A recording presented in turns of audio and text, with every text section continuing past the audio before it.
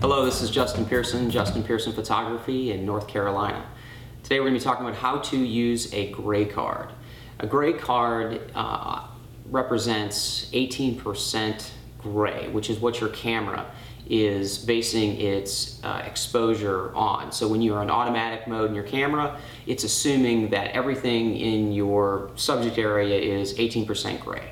And so it's deciding between the lights and the darks, and it comes up with an f-stop and a shutter speed that will correctly expose your image.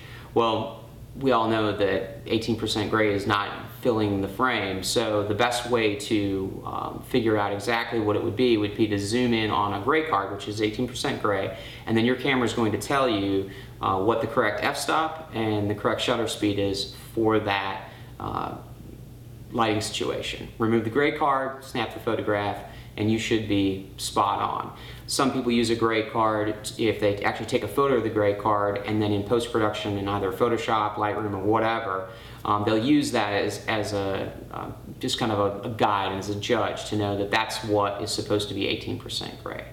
And that's how you use a photo gray card.